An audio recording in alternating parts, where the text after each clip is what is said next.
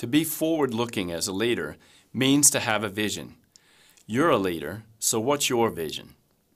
In a 2009 article by James Kouzes and Barry Posner, 72% of people in organizations expect leaders to be forward looking.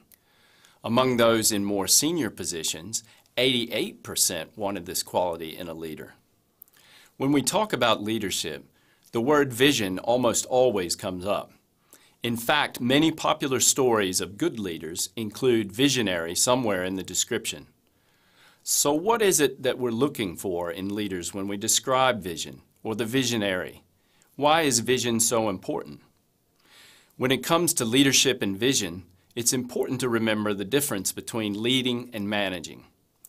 In his book, The Seven Habits of Highly Effective People, Stephen Covey describes the difference by using a metaphor of producers chopping their way through a jungle. The producers are up front, chopping away at the underbrush. Behind them are managers sharpening machetes, writing work schedules, developing physical training, and writing compensation plans. A leader is someone who climbs to the top of the tree and shouts, We're in the wrong jungle. The leader is expected to have a vision for where the organization is currently and where it should be in the future. In his 2001 article, What Leaders Really Do, John Kotter describes that the function of leadership is to produce change. Setting the direction of that change is fundamental to leadership.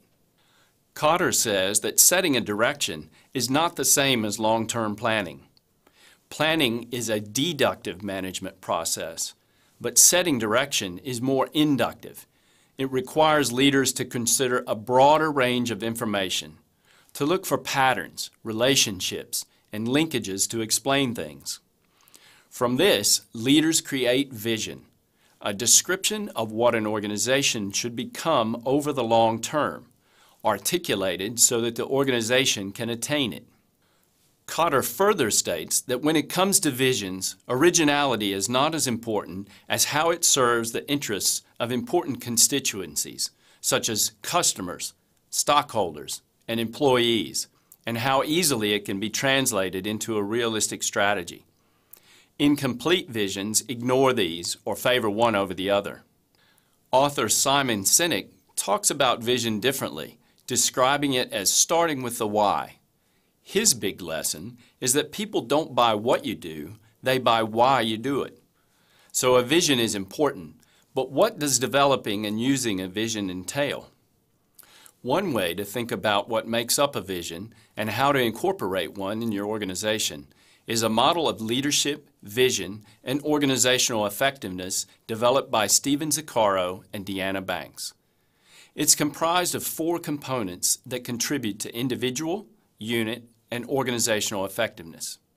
These four components are vision content, leadership behaviors, vision articulation, and subordinate responses. Let's look at each of these in further detail. The vision should contain an ideological goal and a value-based core. It should also have a frame of reference, growth themes, and be change-oriented. Without these key ingredients, your vision is likely to be incomplete and confusing for people to understand.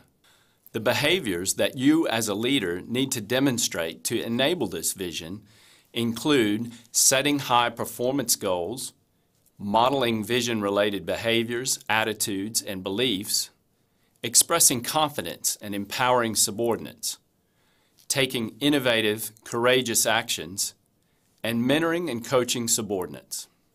When articulating the vision, leaders should use inspirational imagery, inclusive language, clarity, challenges, and task and goal specification.